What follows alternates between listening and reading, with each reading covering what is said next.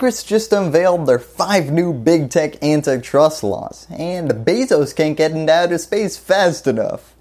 These laws are based on over a year of congressional industry research, and each one was crafted with a sponsor from both sides of the aisle. Now, a lot of the laws in today's episode are going to sound like things that, wait, isn't that already illegal? I mean, heck, half of these proposed laws were inspired by current pending lawsuits. Now what most of these bills actually do is update our existing legal antitrust code, which was created mostly around the time of trust-busting steel and railroad barons, into the digital age.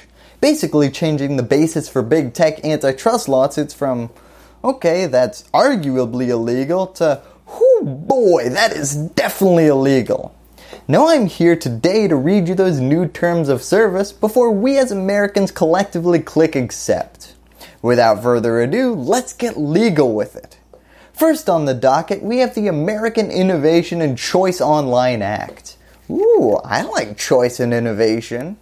Now this act was brought to you by Jeff Bezos' anti-competitive activities. Also sponsors New York Democrat David Cicilline and Texas Republican Lance Gooden.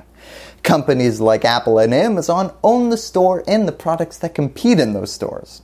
As you can imagine, the invisible hand is brushing aside some of the competitors to display Amazon's products. Now this new law would explicitly make it illegal for a large online retailer to use algorithms to benefit their brands or constrain their competitors. Gee, I see a search for vacuum cleaners. Let me just show you all the stuff we make and if you scroll to the bottom of the third page, you can check out our competitors as well. Now this law would not mandate that you as Amazon or someone else take your products off the shelf. You just have to treat all products equally. Also, this law won't affect most companies. Unless you're a tech company that can afford a Scrooge McDuck money pool, this new law, well it ain't gonna affect you. Less than 50 million monthly US viewers or $600 billion in yearly sales, you can ignore us you're going to be governed exclusively by current laws existing on the books. No offense, but you're just not large enough to be an antitrust concern. Now this can be followed up neatly by bill number 2, which is essentially a beefed up version of what I've just described. Enter the Ending Platform Monopolies Act, brought to you by Washington Democrat Pramila Jayapal and Texas Republican Lance Gooden. Wow, back on the list again, and so soon. Good job, partner. Now this bill looks at the last one and says, cowards, we can do better than that. It would allow regulators to disentangle and block dominant online platforms from owning businesses that could represent a conflict of interest. Most notably, while the last bill, the American Innovation and Choice Online Act, would allow Amazon to continue to put their products on the shelves as long as it was all fair, this act would actually say that the simple chance that the left hand could be doing things to benefit the right hand means that the relationship needs to be severed. For the Amazon example, Amazon Basics would now, under this law, have to become its own independent company. Now this would go far beyond just the shelves of online retailers.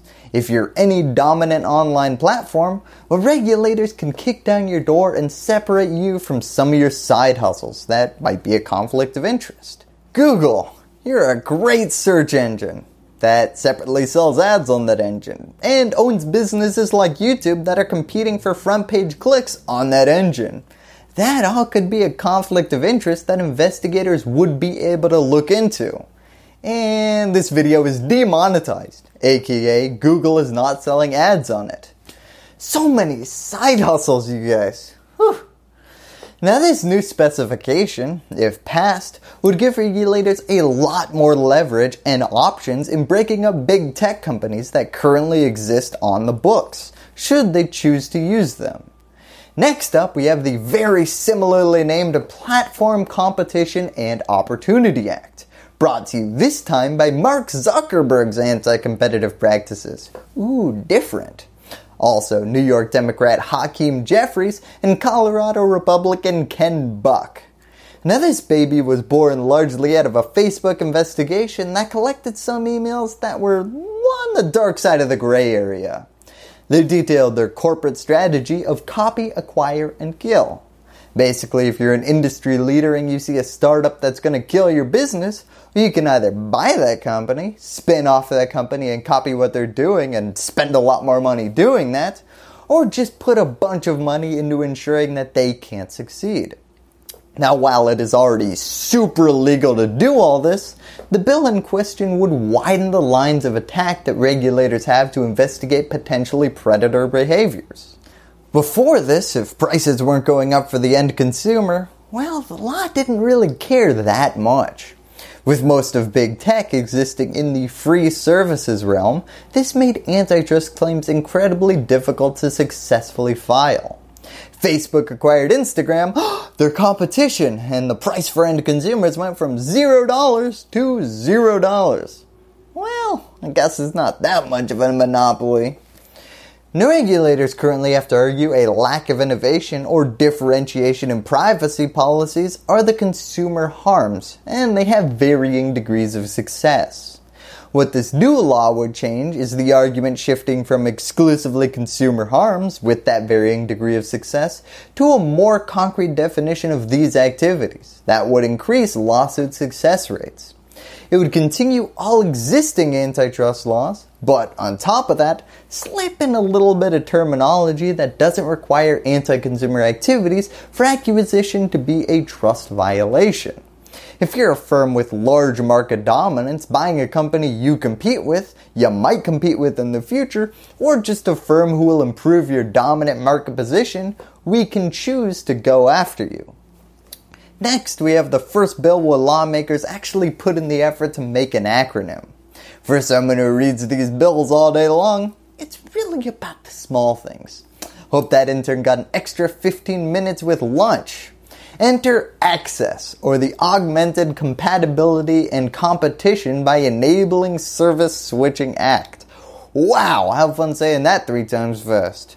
Brought to you by Utah Republican Burgess Owens and Pennsylvania Democrat Mary Gay Scanlon. Now this bill is a bit more out there and a little more antitrust adjacent than everything I've talked to you so far about in this episode. Here's the problem it seeks to address. Why are you still on Facebook today? Well, one of the reasons is probably because, well, all my friends are on there, all the photos I've uploaded are on there. I don't want to have to re-enter years, or maybe even decades, of information into another new social network.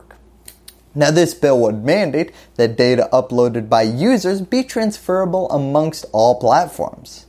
This is not only super convenient, I mean I'd love to be able to port all of my Facebook information over to Twitter instead of manually re-entering it all the time. It's also a huge organic free market anti-monopoly measure. Platforms would have to keep users by providing the best services, rather than by making it super inconvenient to leave. They always say leaving, well it's the hardest part and this would make it easier to leave if a better platform emerged.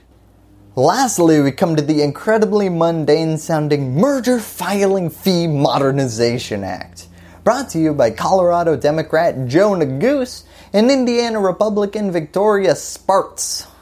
Now the most important bills are always the most mundane sounding ones, and this is no different.